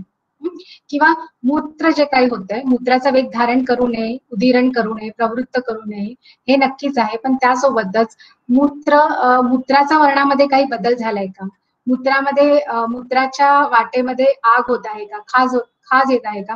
याही लक्षणां लक्षणांकडे आपण निश्चितच गरजेचं आहे की लक्ष द्यावं. त्याचप्रमाणे अग्नी जाठर अग्नी. जो सुरुवातीला ज्याचं महत्त्व मी तुम्हाला सांगितलं होतं की जो अग्नी आहे या अग्नीवरतीच तुमच्या आहार पचनाची क्षमता अवलंबून आहे. तर हा अग्नी जितका बळवान असेल तितकाच तुमचा जो काही आहार आहे त्याचं योग्य प्रकारे पचन होऊ शकतं. आणि म्हणून कशाकडे लक्ष देणं गरजेचं आहे की तुमच्या भूकेच्या वेगेकडे. तुम्हाला भूक लागलेली असतानाच तुम्ही जेवण करणं खूप महत्वाचं आहे. या या व्यतिरिक्त जो काही जो काही आहाराची मात्रा आणि काल हे बघणं पण निश्चितच गरजेचं आहे. जसं मी मगाशी म्हणाले की काळ हा केवळ सकाळ दुपार संध्याकाळ याप्रमाणे निश्चित करू नये आहाराचा. तर तुमच्या शरीराला जेव्हा भुकेची जाणीव होते यानुसार तुम्ही त्याचा काळ ठरवणं महत्वाचं आहे. आणि आहाराच्या मात्रेविषयी मी थोडक्यात सांगते. आहाराबद्दल आपण पूर्णपणे वेगळं व्याख्यान करणारच आहोत.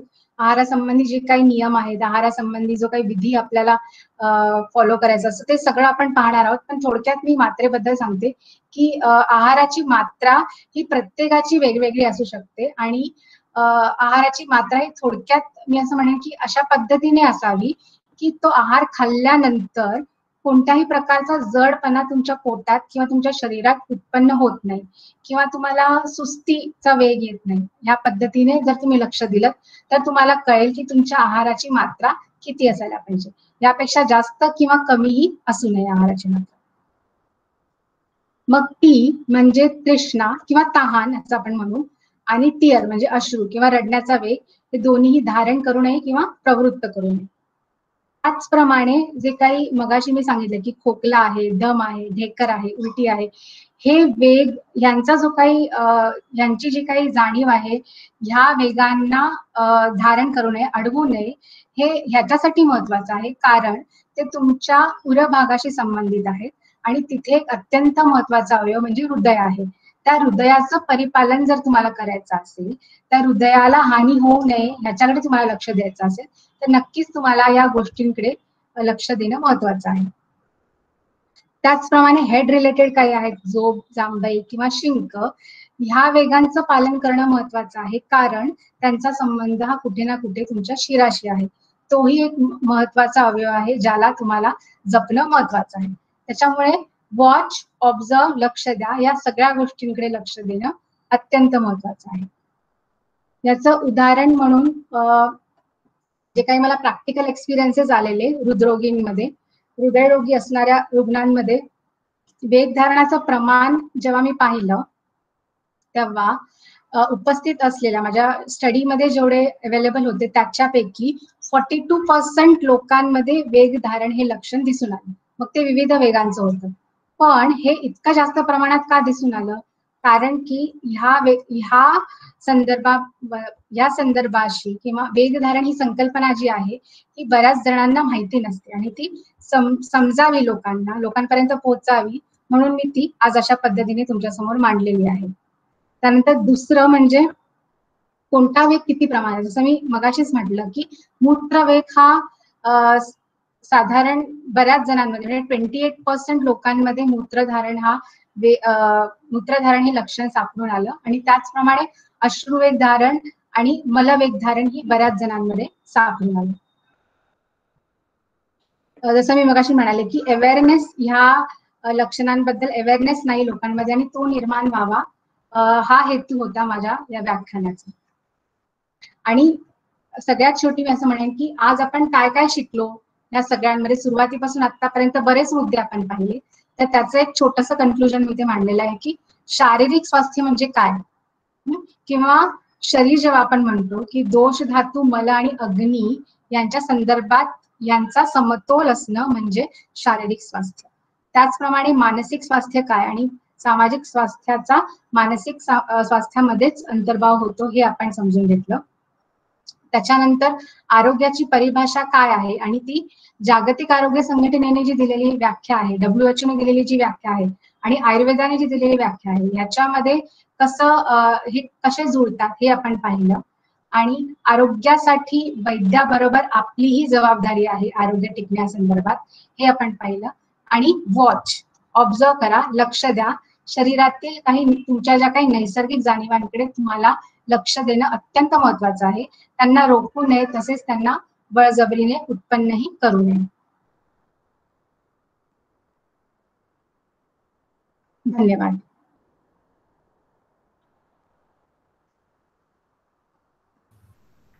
धन्यवाद माधुरीताई. आपल्यापैकी आता आपण पुढचे एक दहा मिनिट प्रश्न उत्तर सेशन ठेवूया. हो चालेल कोणाला जर काही प्रश्न असतील कोणाला काही शंका असतील किंवा काही मत आपलं एक या सेशनबद्दल काही मत असेल तर. नक्कीच अनम्यूट करून नक्कीच आपण व्यक्त होऊ शकता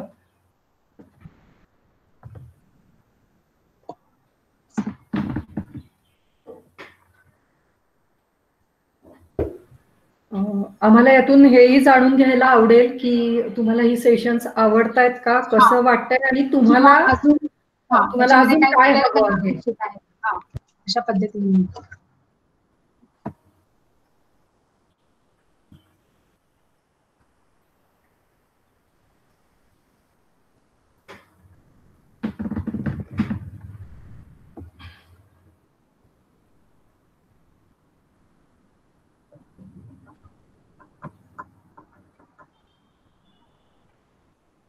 कोणालाच बोलायचं नाहीये?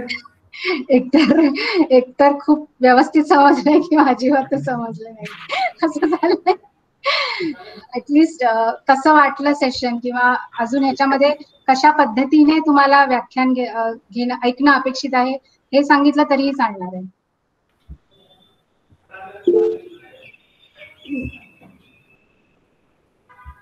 अच्छा चॅटबॉक्समध्ये काही येत आहेत मेसेजेस प्रीतम किंवा ही माहिती तुम्हाला उपयुक्त वाटली का? असंही जर काही असेल किंवा अजून माहिती घ्यायला आवडेल अशा संदर्भात? रागिणीताई पण जॉईन झाले रागिणीताई आपल्याला काही बोलायचं आहे का?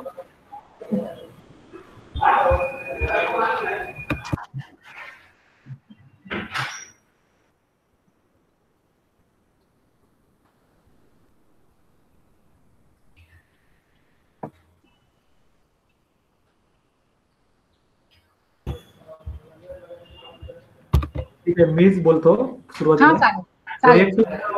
मला सेशन खूप आवडलं. ओके. मधलं विशेषतः ज्या नैसर्गिक जाणीव आणि वॉच नावाची जी स्लाइड होती हा हा हा. त्याच्यामध्ये खूप क्लिअरिटी आली की नक्की म्हणजे आता हळूहळू कळायला लागलं वैद्य आपल्या घरी ह्या सत्राला नाव का दिलंय? की. बऱ्याच जर वैयक्तिक मला माझ्या शरीराची आणि आरोग्याची नीट माहिती असेल तर. म्हणजे नक्की शरीरात प्रक्रिया घडतात कशा बरोबर. याबद्दलच्या संकल्पना जसं जसं क्लिअर होत जातील तसं जसं. मला वाटतं की माझ्या जीवन पद्धतीमध्ये रोजची जी दिनचर्या आहे माझी त्याच्यामध्ये हळूहळू बदल बदल होत जाईल. आणि त्याचा रोगाशी कसा आहे की. काहीच नाहीये. मी एकदम फ्रेश आहे याचा अर्थ मी निरोगी आहे असं नाहीये. तर. हे एक नीट कळलं मला. आणि खूप छान मांडणी केली तुम्ही. थोडं मध्ये मध्ये टेक्निकल थोडी प्रॉब्लेम झाले. बऱ्याच वेळेला नेटवर्कचा प्रॉब्लेम झाला काही ठिकाणी पाऊस आहे काही ठिकाणी वारा असं सध्या हवामान पण नीट. नसल्यामुळे ती थोडी टेक्निकल अडचण आली. पण तरी सुद्धा खूप व्यवस्थित सेशन झालं. खूप छान झालं. धन्यवाद. आणखी कोणाला बोलायचंय का? सगळ्यांना चॅट बॉक्समध्ये नक्की. चॅटबॉक्समध्ये टाकतात लोक.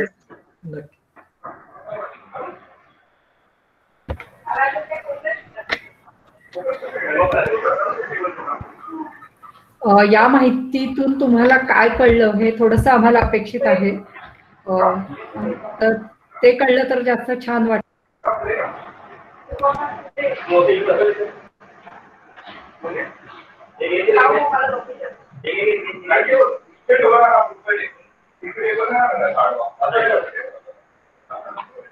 कोणाला बोलायचं आहे. हॅलो. हा. हा माधुरीताई अं, मंदार बोलतोय. एकूणच. सेशन हा सेशन फारच म्हणजे नवीन माहिती होती आणि ज्या माहिती ह्या माहितीचा आपण रोजच्या जीवनामध्ये अशा पद्धतीने बघत नाहीये म्हणजे ह्या गोष्टी.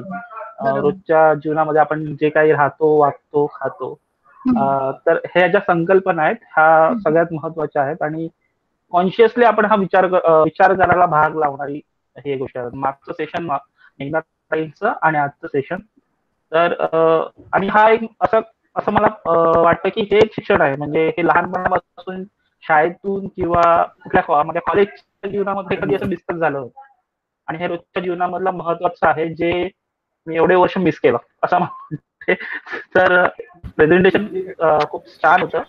आणि ही माहिती मला फार गरजेची आहे असं मला वाटतं.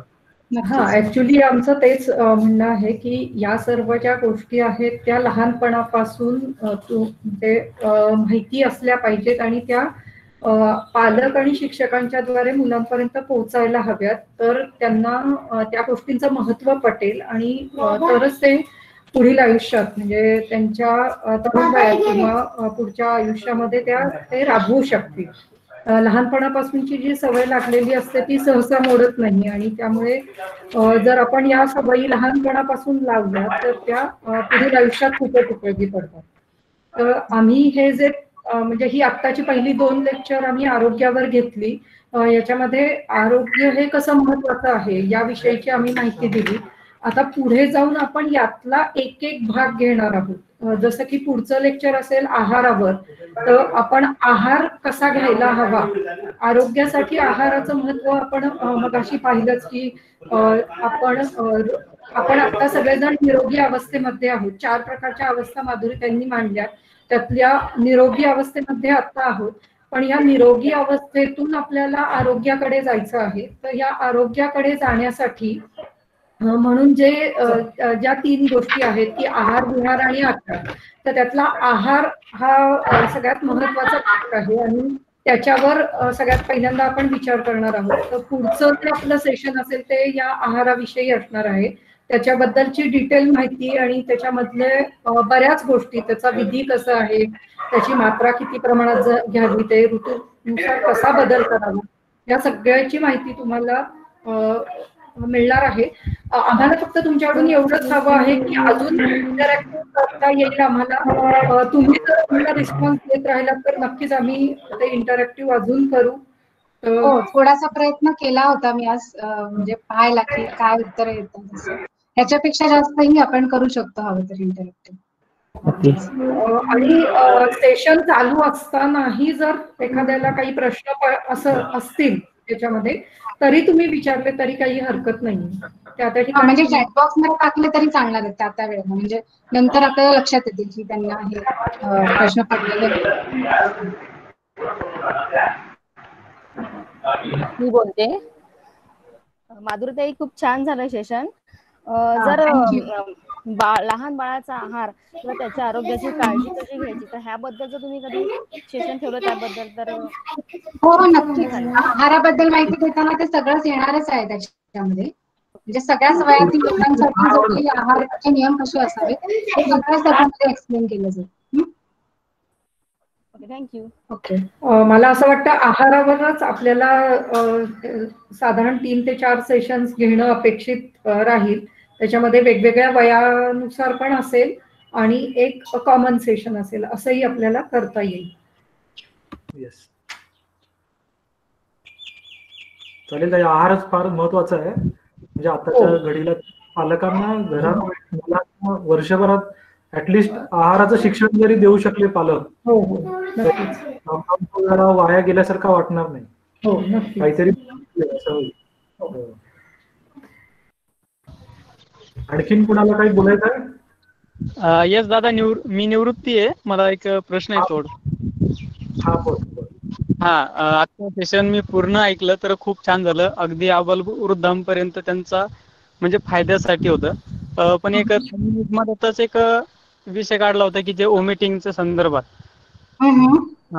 तर त्यामध्ये बरेच लोक असं असतात म्हणे की सकाळी सकाळी अक्षरशः म्हणजे ओमिटिंग काय ओमिटिंग काढण्याचा प्रयत्न करतात बळजबरी? नाही नाही नाही. तेच मी सांगत होते आणि सांगायचा प्रयत्न करत होते की हे चुकीचं आहे. हा एक प्रकारचा वेग आहे ज्याला अडव त्याची अडवणूकही करायची नाही. जेव्हा असं शरीराला वाटत असेल की हा पित्तदोष खूप जास्त प्रमाणात साठलेला आहे तेव्हा आपोआपच तो उलटी वाटे बाहेर पडतो. ह्याला अजिबात आपल्याला अडवायचं नाही. त्याचप्रमाणे ह्याच ह्याची प्रवृत्तीही आपल्याला करायची नाहीये. ही स्वतःहून की तो शरीराच्या बाहेर काढणं हे अत्यंत चुकीचं आहे. म्हणजे आयुर्वेदामध्ये एक पंचकर्म आहे ज्याला आपण वमन म्हणतो ज्यामध्ये ही प्रोसेस केली जाते. पण ह्यासाठी एक विशिष्ट पद्धतीने ती केली जाते की तुमच्या शरीरातील जे काही दोष आहेत ते पोटाकडे आणले जातात आणि मग तिथून ते बाहेर काढले जातात. पण जेव्हा तुम्ही बळजबरीने वमन काढता तेव्हा कोष्ठामध्ये किंवा पोटामध्ये दोष अजिबात नसतात. आणि असं करत असताना तुमच्या शरीराचं बळ हे जास्तीत जास्त कमी होत जातं. आणि हे रोगांकडे जाणं जाण्याची एक वाटचालच आहे असं आपण म्हणू शकतो. त्यामुळे बळजबरीने या वेगाला उत्पन्न करायचं नाहीये. हे चुकीचं आहे. अत्यंत चुकीचं आहे. Okay okay. नाही ताई माझा याला याला जोडून एक प्रश्न होता. त्या संदर्भात. आपण जसं सकाळी तोंड धुतल्यानंतर जीभ साफ करतो बोटाने. हा. तर मग त्या त्यावेळेस कधी कधी पिवळट पाणी वगैरे आलं समजा किंवा तर ते आपण असं नाही गृहीत धरता येणार का? की गरज धरता येणार ना की ते उलटीसाठी केलेलं आहे म्हणून? हा हा नाही. जर ते आपोआप बाहेर पडत असेल तर ठीक आहे. आणि ते कधीतरी बाहेर पडत असेल तर ठीक आहे. वन्स इन वाईल ते पडत असेल तर ठीक आहे. पण जर ते सतत सतत जर असं होत असेल की तुम्ही सकाळी उठल्यानंतर ते बाहेरच पडते सारखं तर नक्कीच हे काळजी करण्यासारखं आहे काहीतरी. आणि हे कमी व्हावं हे लक्षण कमी व्हावं यासाठी तुमचं पचन सुधारण्याची गरज असू शकते त्यावेळेला. तर हे आपण हे आपल्याला करता येईल औषधी काही प्रॉब्लेम नाही. Okay okay. Thank you so much ताई. ओके.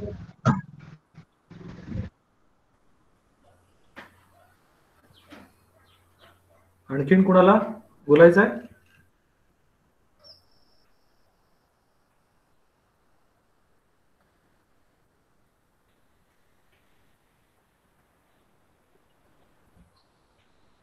म्हणून कुठे येतो आवाज? हो येतोय. बोला. हा बोला.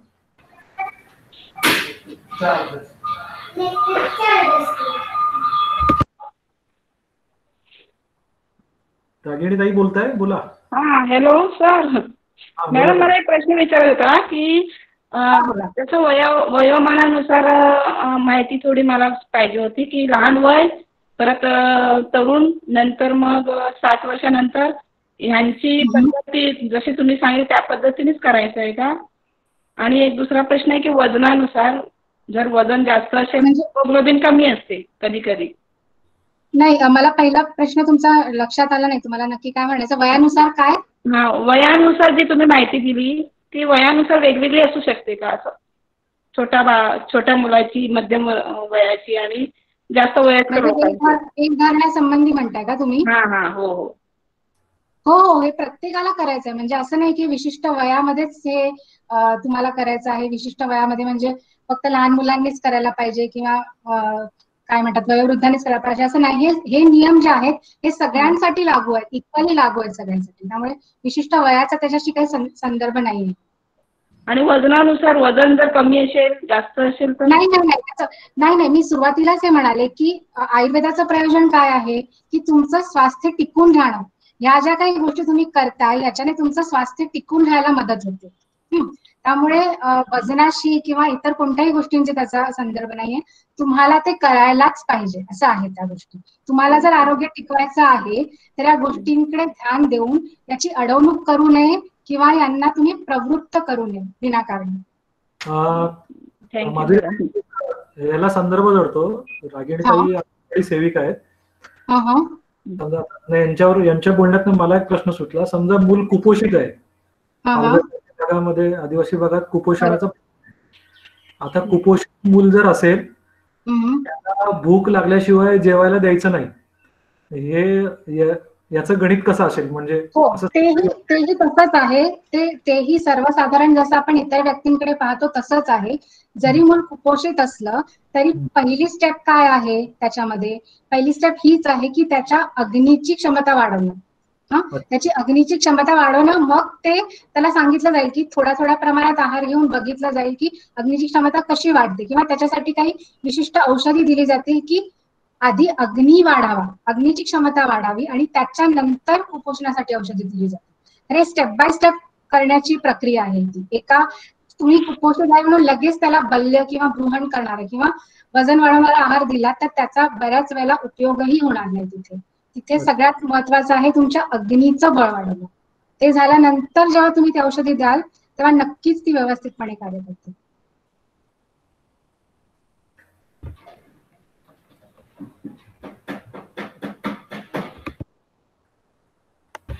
ऍक्च्युली आपल्या देशातल्या हे जे कुपोषित अवस्था आहे हा कुपोषित विभाग आहेत तिथे अनेक प्रकल्प राबवले जातात.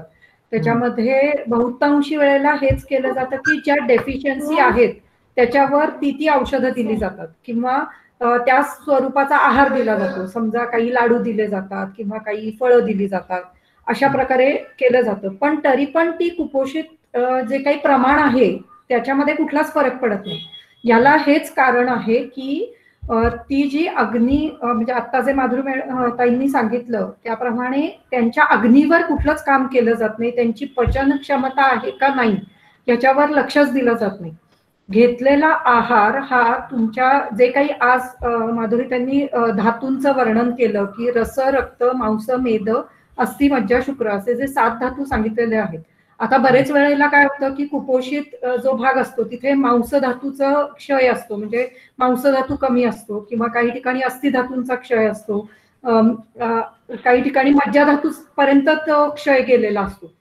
तर अशा ठिकाणी जर केवळ मांस वाढणारी काही औषधं दिली किंवा मेद वाढणारी औषधं दिली तर त्याचा काहीही उपयोग होत नाही जोपर्यंत त्याचा जो अग्नी आहे म्हणजे अग्नी ही संकल्पना आमच्या ह्याच्यात इतकी सुंदर वर्णन केलेली आहे की तो अग्नी अगदी त्या धातूचाही अग्नी असतो. म्हणजे प्रत्येक धातूसाठी वेगळा अग्नी असतो.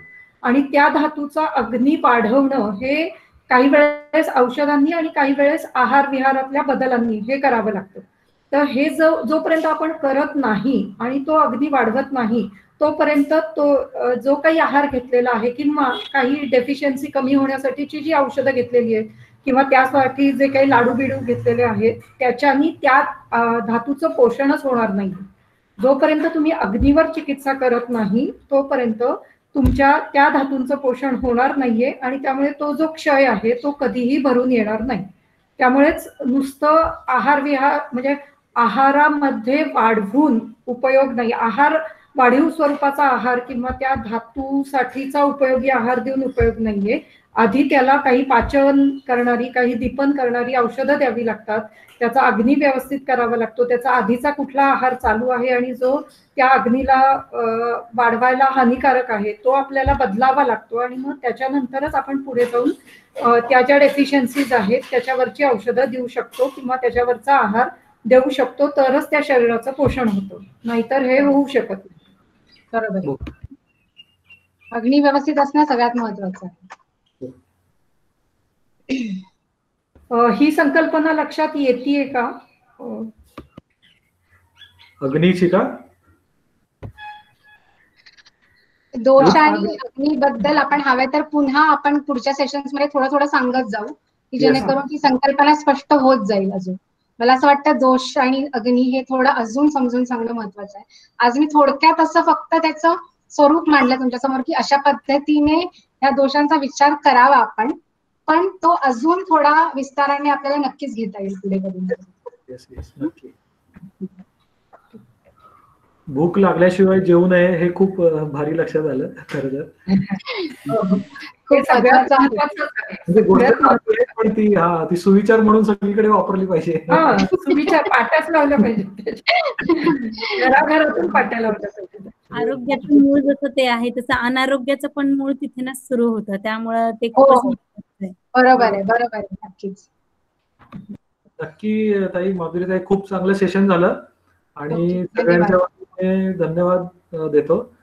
आणि नक्कीच आम्ही तुम्ही सांगितलेली माहिती आमच्या जीवनामध्ये आम्ही उतरवणार आता. हो हो हो हो. हो. महत्त्वाच्या गोष्टी म्हणजे साध्या आहेत खरं तर पण खूप महत्त्वाच्या आहेत. खूप महत्त्वाचे बरोबर. मला तर वाटतं की अरे मी तीस पस्तीस वर्षाचा झालो पण हे आत्ता कळायला लागले आम्हाला या गोष्टी. लवकरच तर, म्हणूनच आपण लहान वयापासून हे सांगायला लागूया. रुजतील असं आम्हाला वाटतं. आणि हे हे जे सिरीज आहे आपलं हे सत्र आपण असंच चालू ठेवू. आणि हो. म्हणाल्यासारखं पुढच्या आपण आहारावरच्या पुढच्या सत्राला आपण सगळे पुन्हा एकत्र भेटू. आणि माझी सहभागी झालेल्या सर्व पार्टिसिपंट्सला विनंती असेल तुम्हाला जे काही प्रश्न असतील किंवा तुमचं काही मनोगत असेल तर मुक्तपणे तुम्ही व्यक्त करा. चॅट बॉक्समध्ये तरी व्यक्त करा किंवा नंतर तुम्ही जर पर्सनली जरी मेघनाथ एक कॉन्टॅक्ट नंबर देता येईल का? म्हणजे कॉन्टॅक्ट नंबर सांगते. तर पर्सनली पण काही ना काही वैयक्तिक प्रश्न असतील जे इथे त्यांना कदाचित विचारणं सोयीचं नसेल वाटत तर ते वैयक्तिक दृष्ट्या सुद्धा ते विचारू शकतात. आणि हे सत्र आपण पुढे चालू ठेवणार आहोत. निधीताईने कमेंटमध्ये टाकलंच आहे त्याची खूप गरज आहे. पालक म्हणूनही गरज आहे आणि वैयक्तिक आपल्या सगळ्यांनाच एक चांगलं आयुष्य जगण्यासाठी गरजेचंच आहे. हे आता लक्षात येत आहे सगळ्यांना. तर आपण हे सत्र आता सिरीज म्हणून कंटिन्यू चालू ठेवणार आहोत. तर या सत्रात सहभागी झालेल्या सर्वांचं पुन्हा एकदा काय म्हणून स्वागतही म्हणतो कारण एक कुटुंब म्हणून आता आपण याला एक पुढे नेऊ. आणि एक विचार एक विचारधारा म्हणून पण प्रत्येकाच्या घरामध्ये पोचूया. कारण हे अतिशय महत्वाचं आहे. माझा कॉन्टॅक्ट नंबर आहे nine eight five zero eight one five three seven five chat बॉक्समध्ये हा, टाका. टाकलाय मी. चॅटबॉक्समध्ये टाकलाय. कोणी तिथे जाऊन घेऊ शकतं. आणि माधुरीताईंचा आहे eight eight seven nine six five six four five five. चॅटबॉक्समध्ये टाकलेलं आहे मी. तुम्ही तिथून घेऊ शकता. मग आपण थांबूया. आणि परत असा विचार आहे की दर दोन सेकंड रविवारी आपण सेशन ठेवूया. तर आपण पुन्हा पंधरा ऑगस्टच्या नंतरच्या रविवारी पुन्हा भेटूया. हो नवीन विषय घेऊन. हो. धन्यवाद सगळ्यांना. आणि मेघनाथ हा काही बोलायचं बोला हा नाही. पुढचा विषय असेल उदर भरण न हे आहार संकल्पना. ओके. आहारावर असेल. हा. Okay thank you okay. Mm-hmm.